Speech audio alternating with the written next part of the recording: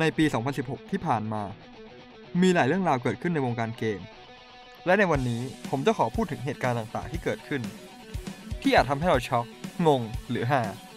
เชิญรับชมกันได้เลยครับ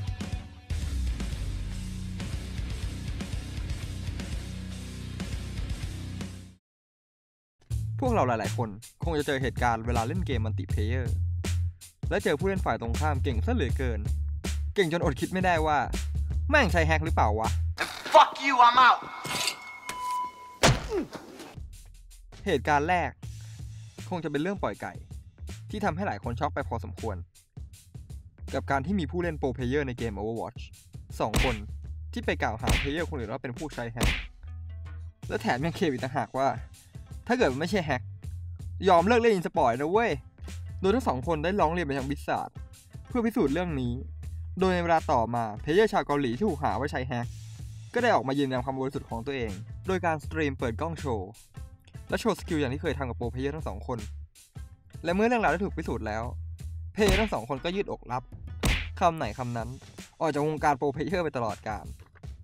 มันก็คงไม่ถือว่าเป็นเรื่องหน้าแตกอะไรหรอกนะครับ เพราะเราหลายครั้งก็คงจะคิดว่าคนอื่นเป็นแฮกอยู่บ่อยพอสมควร ก็คงไม่แปลกที่ pro player จะคิดว่า คนอื่นใช้แฮกก็คงจะไม่ใช่เรื่องแปลก แต่เรื่องนี้ก็คงสอนให้รู้ว่า ถ้าเกิดเราไม่มั่นใจอะไร อย่าไป confirm ขนาดนั้นนะครับ มันจะเสียเครดิตเอา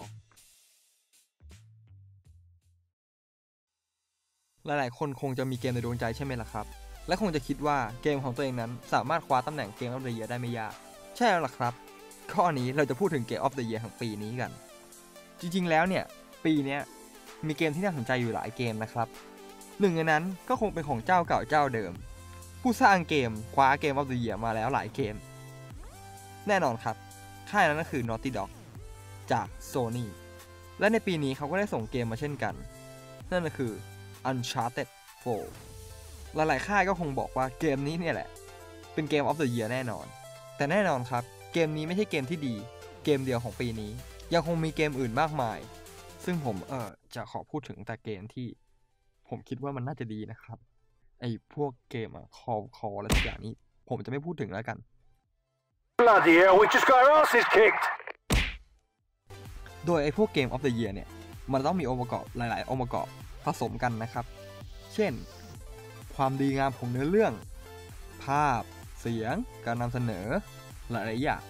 ผสมกันจนออกมาเป็นเกมที่ดีเกมหนึ่งนะครับ โดยในปีนี้เนี่ย ก็ตกเป็นของ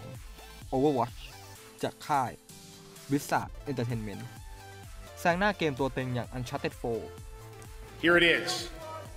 The game of the year at the Game Awards 2016 is Overwatch.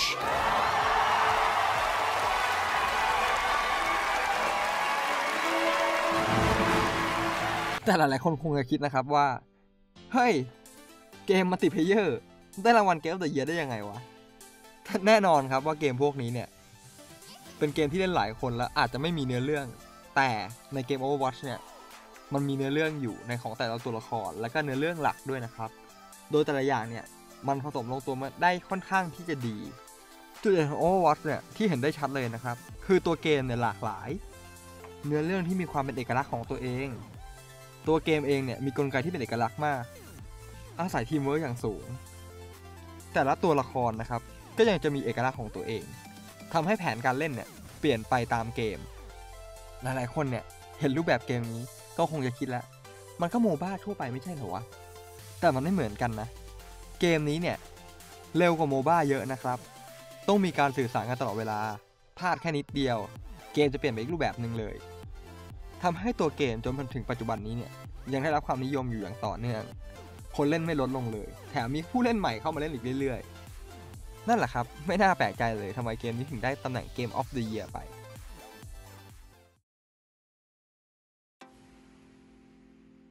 มาที่เรื่องต่อไปครับ เรายังคงวนเวียนกับ Blizzard อีกกันอีกข้อหนึ่งนะครับ แต่ก็คงไม่ได้เลี้ยวเข้าไปเต็มวง เพราะข้อนี้เนี่ยเกี่ยวกับคนไทยเราเนี่ยแหละครับ ตลอดปีที่ผ่านมา เราจะเจอกับสำนวนคนไทยทำอะไรก็ไม่แพ้ชาติใดในโลกใช่ไหม และประโยคนี้ก็ไม่ได้พูดเกินไปเลย เมื่อความสามารถของมิกกี้ pro player เกม Overwatch สัญชาติไทย ไปโชว์ลีลาในเวทีระดับโลกอย่าง Major League Gaming Vegas 2016 Overwatch Apex Season 1 Overwatch World Cup Asia Pacific Qualifier และในเวลาต่อมา มิกกี้ที่ได้อยู่ทีมสวิตไทม์ก็ได้ถูกทีม NVS ดึงตัวไปเป็นส่วนหนึ่งของทีมแล้ว และก็ไม่ใช่แค่ทีมของ Overwatch นะครับ ทีมของ Dota 2 ก็มีเหมือนกัน นั่นคือ Japs ที่เคยอยู่ Signature Trust ก็ได้เข้าประจำการทีม f e l e s ไปอารวาสในสนามใหญ่ๆ นับครั้งไม่ถ้วน เช่น The Boston Majors 2016 The Summit 6 SEA Qualifier Pro Dota Southeast Asia 3 แค่นี้เนี่ย ก็ทำให้ทั้งโลกเห็นแล้วว่า พี่ไทยเราก็เอาเรื่องเว้ย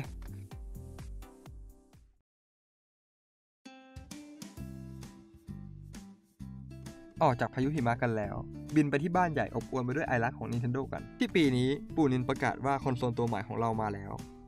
มันมีชื่อว่า Nintendo Switch และดูเหมือนว่าสาวกจะไฮกันเยอะนะครับ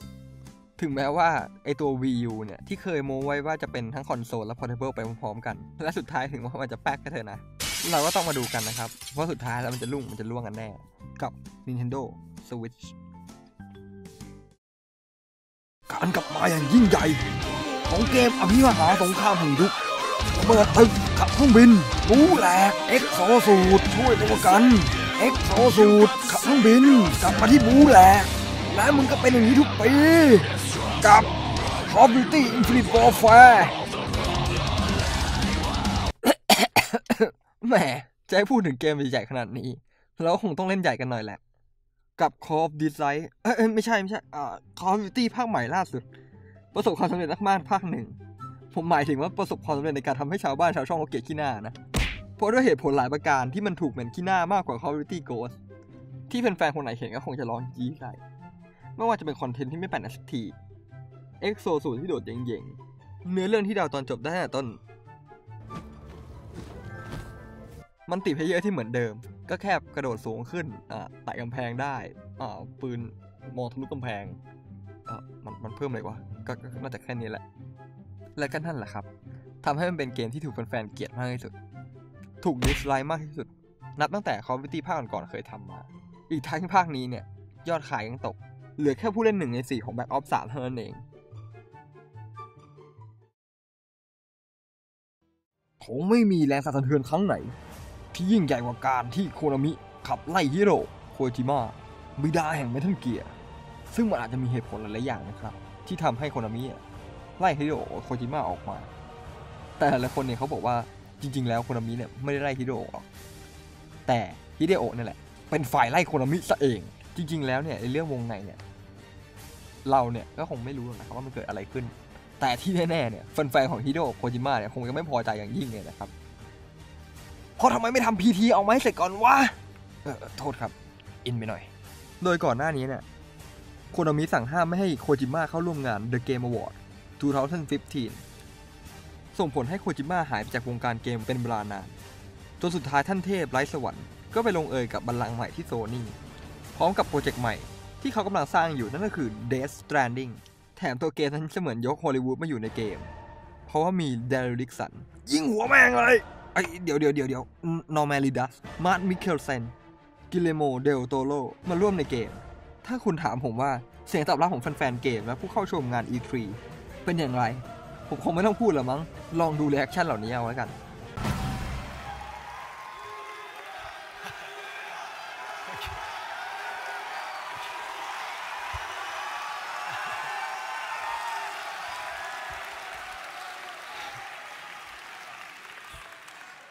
และแน่นอน โคจิมะยังไม่ได้เปิดเผยอะไรให้มาก รู้แค่เพียงว่าเป็นเกมแนว Open World ที่ตอนนี้เต็มไปด้วยทฤษฎี108,009 ที่เป็นที่พูดถึงในพันทิป Reddit YouTube และอีกมากมาย และแน่นอนเกมของเขาล้ำขนาดที่มาร์ m มิเคิลเซนปรีปากออกมาบอกว่าเขากำลังสร้างหนังเรื่องหนึ่ง สร้างโลกใบหนึ่งของเขาเอง และอยากให้เราผู้เล่นเป็นผู้กำกับ และตัวเขาเองยังไม่เข้าใจเลยว่า มันเกี่ยวกับอะไรวะเนี่ยและแน่นอนครับติ่งแล้วก็แฟนๆโคจิมะเนี่ยแค่เอามาดิ้งกันเลยกับวลีเด็ดของเขา Hello? Hello, everyone. I'm back. Death Standing มีกำหนดวางขายยังไม่แน่นอนนะครับ แต่ประมาณว่าก่อนปี 2019 แต่เอาจริงๆนะ ถ้าคุณกำลังงงว่าเกมนั้นเกี่ยวอะไร คุณคงไม่รู้สึกโดดเดี่ยวหรอก เพราะตอนนี้คงยังไม่มีใครเข้าใจ นอกจากตัวโคจิมะเอง เออเพอเพอเออโคจิมะนะอาจจะยังไม่เข้าใจเองด้วยซ้ำแล้วต่อมานะครับ กับปรากฏการณ์ของวงการเกมไทย ถ้าพูดถึงเกมไทยในช่วงเวลาที่ผ่านมาของปีนี้ คงไม่มีใครไม่รู้จักกับเกมอารยา และ Home Sweet Home ทั้งสองเกมนี้กลายเป็นที่พูดถึงอย่างรวดเร็ว ถึงแม้ทั้งสองเกมนี้อาจจะไม่ได้ออกแบบมาระดับเกม top ของต่างประเทศ แต่อย่างน้อย มันก็สร้าง Impact ให้กับวงการเกมบ้านเราได้อย่างมาก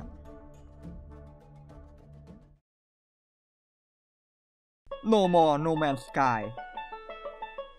ข่าวนี้คงจะพีคสุดในรอบปี กับสุดยอดเกมโคตรไฮป์ ด้วยคำโปรโมทเกมอย่าง เราจะสามารถสำรวจดาวต่างๆ ได้ไกลขนาด 5 ล้านปีแสง และดาวถึง 18 ล้านล้านล้านดวง ด้วยคำโปรโมทสุดยิ่งใหญ่ของปีนี้ทำให้เกมนี้ถูกจับตามองจากทั่วโลก คงจะไม่มีใครที่จะไม่อยากสำรวจดาวถึง 18 ล้านล้านดวง ในขณะที่เกมเป็น Open World หรอกครับฟังดูแล้วแม่งโคตรจะอิสระเลย ไหนยังบอกว่าเราสามารถเจอผู้เล่นคนอื่นได้ตามดาวต่างๆ มันเป็นเกม multiplayer ครับ ตามที่ผู้พัฒนาเขาบอกมา โดยผู้เล่นเนี่ยสามารถจะได้พบสัตว์ แร่ธาตุพลังงานและบรรยากาศบนดาวต่างๆ feeling คงคล้ายๆกับ Spore มั้งครับ ในขณะที่ Spore ทำออกมาได้ดีมาก ทุกคนก็คงอยากจะเล่นเกมนี้กันแล้วนะ ทุกอย่างมันฟังดูดีไปหมดครับ แต่แม่งขายฝันชัดๆเลยเว้ยเราไม่สามารถเจอผู้เล่นคนอื่นได้ แต่เราสามารถเจอดาวดวงเดียวกันได้แล้วนั่นมึงจะเป็นมันติดเพเยอร์ทำไมวะและส่วนไอ้ระบบเจเนเรตสัตว์บนดวงดาวเนี่ย มันทำให้เราต้องอุทานครับ ตัวขนาดใหญ่เท่าช้างปีกเล็กนิดเดียว เฮ้ย และหนำซ้ำไม่ต่างกับระบบเจเนเรตดวงดาวครับ มันเหมือนกับระบบสัตว์นั่นแหละครับ มันเจเนเรตกันจนมั่วไปหมดไม่มีหลักอะไรในการเจเนเรตเลย นี่คือผมแบบไม่ค่อยอยากจะด่ามันมากนะครับแต่กูทนไม่ไหวแล้วโว้ยแล้วผมเองก็ไม่อยากจะพูดนะครับ ว่าเกมนี้มันเป็นเกมที่ห่วยที่สุดของปี เพราะเอาจริงๆแล้วมันอาจจะมีเกมที่ห่วยกว่านี้แหละครับเเพียงแต่ว่าไอเกมเนี้ยที่มันออกมาโดนด่ามากเนี่ยเพราะว่าผู้พัฒนาเขาโม้ไว้ซะเยอะเลย แล้วสุดท้ายเขาทำออกมาได้ไม่ได้อย่างที่บอก จนผู้เล่นนะครับลดฮวบไป 89%หลังเกมเปิดขายแค่ 2 สัปดาห์ Steam เนี่ยเปิดให้สามารถคืนเกมได้แม้จะเกินเงื่อนไขปกติของ Steam แล้วก็ตาม ผมคงไม่ต้องอธิบายต่อแล้วใช่ไหมครับว่าข่าวนี้มัน peak ที่สุดของปียังไง The Last of Us Part 2 จริงๆเกมเนี้ยคนอื่นอาจจะมองว่ามันไม่ถึงกับเป็นเหตุการณ์แห่งปีอะไรหรอกนะครับ แต่เกมนี้ถือว่าผมขอแล้วกัน เป็นการไฮป์ส่วนตัวแบบสุดๆเพราะผมถือว่าภาคแรกเป็นที่สุดของเกม ความลงตัวในทุกด้าน และความเป็นติ่งของผมนั่นเองครับ โดยที่ปกติแล้วเนี่ยไอเกมเนี้ยแฟนๆเนี่ยเขาขอให้ทำภาค 2 มาตั้งนานแล้วนะครับ แต่ข่าวก็เงียบกิบ เหมือนผู้พัฒนาไม่เคยได้ยินเลย แต่สุดท้ายครับ สุดท้ายแล้วจริงๆ มันก็ประกาศว่าสร้าง ดยการปล่อยตัวอย่างเกมในงาน PlayStation Experience 2016 ทำเอาแฟนๆกรีดร้องกันลั่นหอ และเปิดตัวด้วยการนั่งเล่นกีตาร์ของเอลลี่ No evil because I'm blind. อันนี้ขอแอบโฆษณานิดหนึ่งว่าในเพจเราเนี่ย มีซับไทยด้วยนะครับ และสุดท้ายเนี่ย อย่าลืมกด Subscribe Channel เรา และแชร์ต่อด้วยนะครับ แล้วเจอกันใหม่คลิปหน้าครับ ส่วนวันนี้ สวัสดีปีใหม่ครับทุกคน บ๊ายบาย